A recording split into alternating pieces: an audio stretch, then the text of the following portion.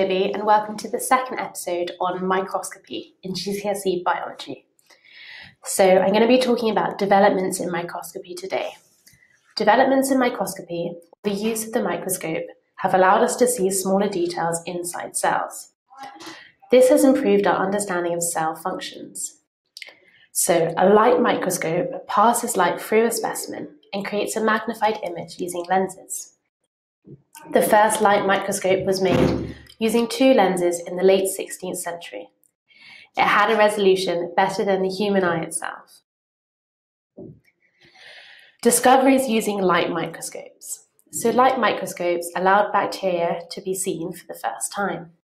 They also allowed us to see plant cells and animal cells as separate objects.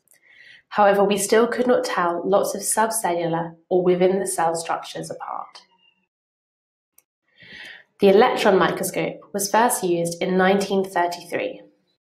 Electron microscopes work in a similar way to light microscopes. However, electrons are passed throughout, through the specimen instead of light. They can now resolve distances of 1 nanometer, which is a much better resolution than light microscopes, and with magnifications of 500,000.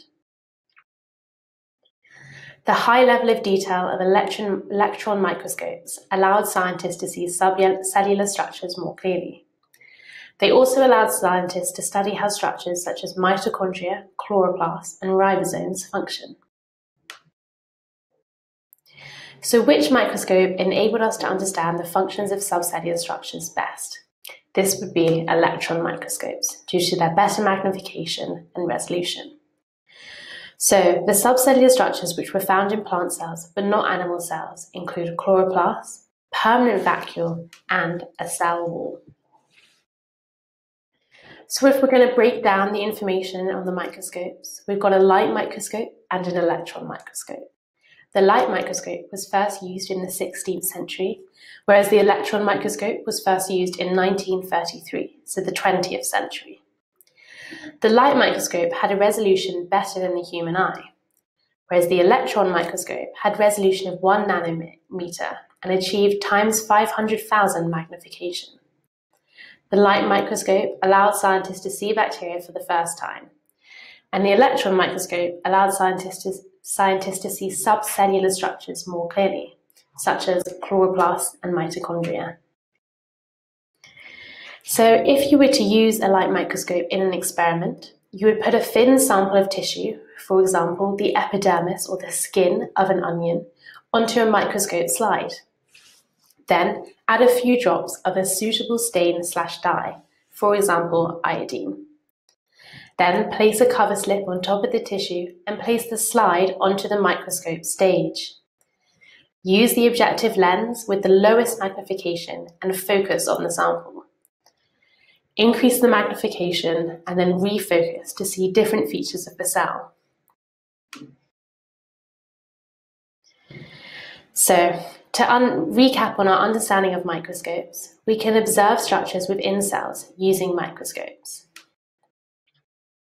So, for example, here we can see the cell process mitosis. And here you can see subcellular structures such as mitochondria or vacuoles.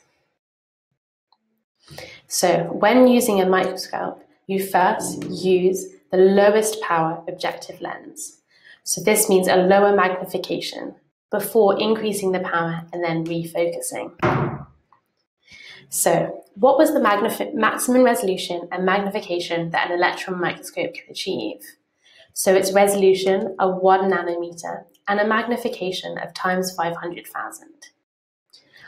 So as I discussed, when using a light microscope, a stain is used to give contrast to the features of the cell to make them visible. And to recap on light microscopes, so first of all, light is passed through the specimen, not electrons. It does not allow you to see small subcellular structures, and it has a higher resolution than the human eye. Also, it allows cells to be viewed as separate objects. So if we're going to recap on the stages of an experiment using the light microscope, first of all, you might cut a thin sample of tissue, such as an onion epidermis, and place it onto a microscope slide. Then add a few drops of sustainable stain, and then place a cover slip on top of the tissue and place the slider onto the microscope stage. Or perhaps that actually might go before the cover slip and then the suitable stain. And then you use the lowest power objective lens and focus on the sample. Once you focus, you can increase the power. So let's submit.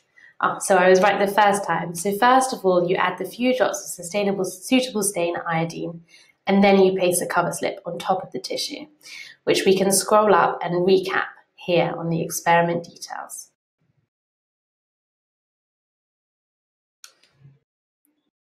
So when using a light microscope, a stain is used to give contrast to the features of the cells to make them visible. And to recap on the stages, as I had it wrong the first time, first of all, we want to cut a thin sample of tissue, such as the onion epidermis. Then we want to add a few drops of suitable stain to create the contrast. Then we place the cover slip on top of the tissue, and then we use the lowest power objective lens and focus on the sample. So that's all for the second episode on microscopy. Thank you for listening.